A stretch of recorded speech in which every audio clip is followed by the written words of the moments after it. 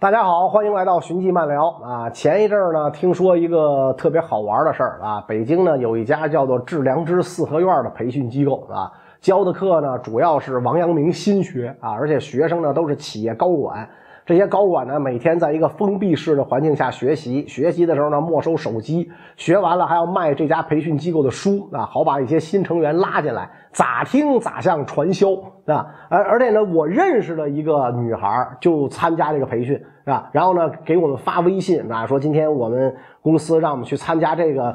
培训啊，每个人都得哭啊，想你忏悔，你想想你干了什么错事哭，自个儿写小纸条得哭啊，手机都得没收，晚上两点才能睡觉，早上起来六点就得起床啊，然后呢？那个导师在上面眉飞色舞的讲，他跟底下画小人结果被没收了啊！被没收就讲这事儿啊！我就说怎么怎么听怎么像个骗子啊！说我准备离职，我不在这家公司待着，太讨厌离职。后来好多人就劝你别离职，你们这公司老板这么好骗，你跟这儿待着挺好的啊，挺好的，是吧？所以呢，这个。这更要命的是，这这些骗小孩子的把戏，把那些高管忽悠的受益匪浅啊！他们把传销那一套搬到公司里啊，什么每天早上要提前半个小时到单位进行早读，所有员工的这个座椅只能坐三分之一，有明白人就能听得出来，这都是胡闹，是吧？哎，这个好言相劝说咱别这样，结果这些敢说话的人都被这个。辞退了，啊，这都被辞退了。这个《新京报》采访的时候就写过，说每次这个所谓的致良知四合院是吧？这个这个这个这个搞培训的时候，都有学员报警，是吧？但是警察来了也没辙，说因为他这没犯法，是吧？你们是自愿参加的，其实他不是自愿嘛，是企业要求。像我们那小妹妹，她就不愿意来，企业说你必须去，你得去洗洗脑、洗洗心啊，洗洗心。是吧？哎，他就必须得去，最后都是企业给调节这事儿啊，所以这帮这帮人发财发老了，是吧？有人呢就采访这个致良知四合院工作人员，表示这么培训是为了让学员能够复制王阳明的成功啊。王阳明就是王守仁呐，啊，听过我讲明史的小伙伴应该有点了解啊。王守仁是吧？这个这个这个平定宁王之乱，创建心学啊。有人讲啊，说这个中国古代的人成功。啊，有所谓的三不朽，是吧？就是立德、立言、立功，视为三不朽，都能做到的太少了啊！你比如说文天祥、岳飞，立德、立言，没立功，对吧？那文天祥国破家亡，有什么立功的？岳飞自己惨死风波亭，有什么立功的？是吧？孔圣人立德、立言，也没立功，是吧？关云长只是立德，连言和功都没有，是吧？所以说，能够做到立德、立言、立功三不朽的，你比如说。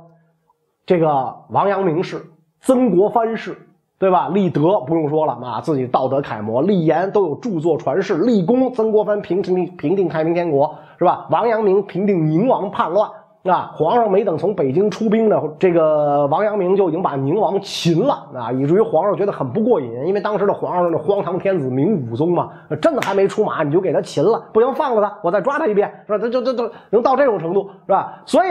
但是知道王阳明的故事，你就知道王阳明的成功是什么？是心学吗？不是啊，他立功是带兵平叛呢。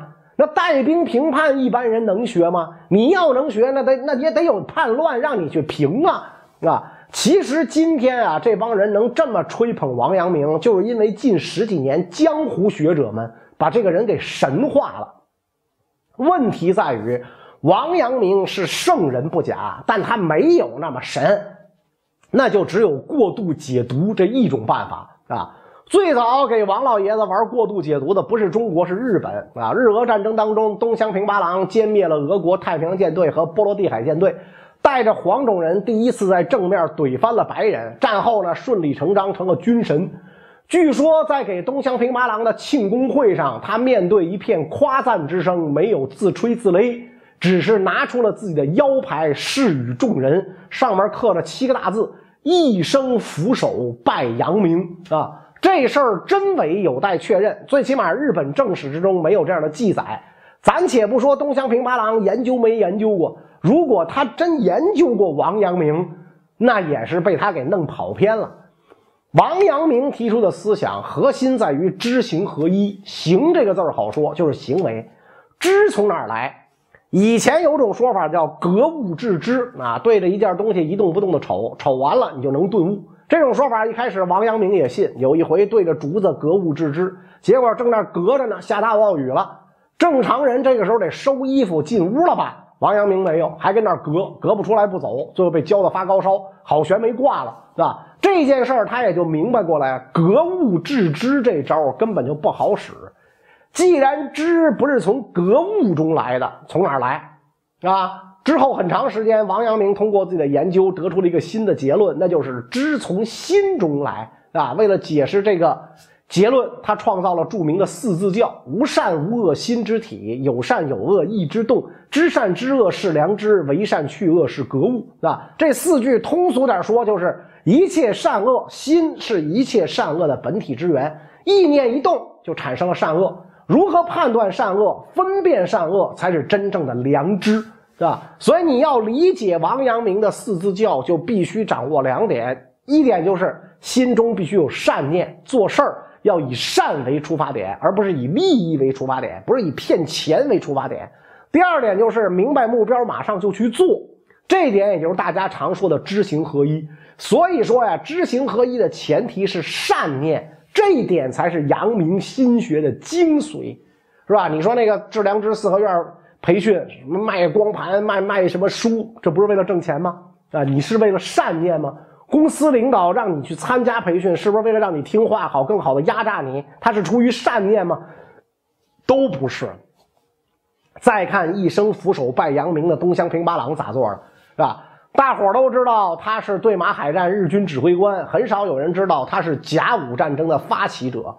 中日甲午战争期间，他是日本海军浪速号巡洋舰舰长。一八九四年的七月二十五号。浪速号和秋津洲号、吉野号一起伏击了北洋舰队的济远、广乙。广乙力战殉国，济远带伤撤退。正当济远舰向西急退的时候，清朝的两艘运输船操江、高升路过这片海域，结果操江号被日舰俘获，那上面有二十万两白银的军饷。东乡平八郎要求载有一千一百多名清军的高升号投降。高升号的船长呢？说自己是英国商船，拒绝投降。结果东乡平八郎下令开炮，高升号被击沉，一千一百多人里只有几个英国人被救，其余的漂浮在海上的清朝陆军根本就没人管。第二天，一艘法国船路过这儿，救起了幸存的两百多人，其余七百多名清军全部溺亡。这场战斗就是著名的丰岛海战，是中日甲午战争的第一枪。是吧？那么看完东乡平八郎干了什么，我们再来分析他为什么一生俯首拜阳明。他拜的是什么？其实他拜的就是王阳明的知行合一。简单就是心中想好了，立即就干。那那王阳明的心学最核心的善，他学到了吗？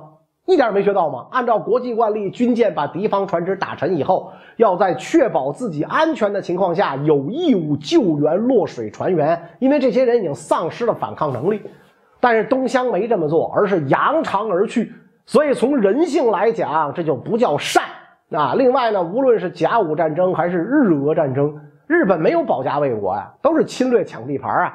东乡平八郎在两场战争当中活动在第一线，这也不叫善。是吧？所以东乡平八郎说自己一生俯首拜阳明，绝对是拜错了牌位啊？王老爷子泉下有知，绝对会气活过来啊！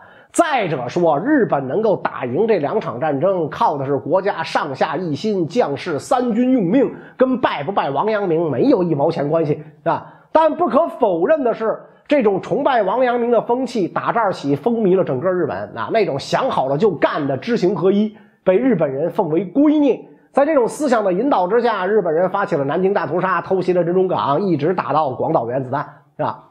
这种风气在日本流行的时候啊，也跟着漂洋过海到了中国，包括蒋介石在内的一批日本留学生都信王阳明那一套，社会上呢掀起了一套阳明热啊！你知道后来蒋介石退守台湾，是吧？台湾的草山就被他改名为阳明山啊，立这个山脚下就立着王阳明像啊。不过。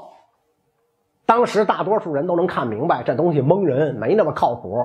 国家要想强大，得去争取独立自主，得发展工商业，不能光用这种心灵鸡汤蒙蔽自己。所以啊，王阳明提的什么致良知啊、知行合一啊，充其量也就是那个时代一种朴素的世界观，没有方法论。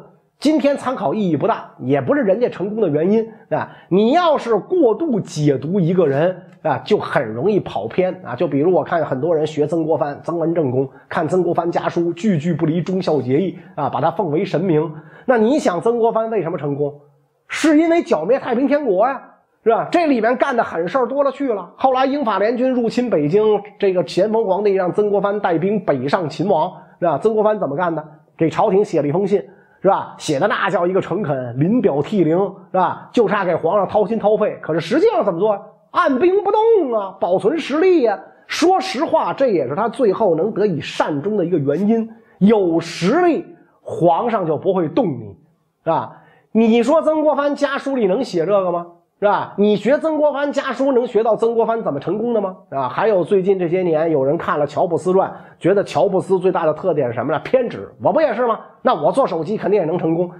乔布斯传是大众读物，是给普通人看的，讲怎么做电脑、怎么做手机就没人看了，所以就给你写点这个，是吧？你读了之后觉得这是人家成功的原因，那乔布斯也太好当了，人人人偏执，人人乔布斯，是吧？所以千万不要对历史名人呐。啊，这个做过分的解读，你能解读到的大概率根本就不是人家成功的原因啊。好了，由一家不靠谱的培训机构引发出来的故事，今天就聊这么多，是吧？喜欢我节目的话呢，大家可以在寻迹讲堂 APP 或者 YouTube 上订阅《寻迹漫聊》，谢谢大家。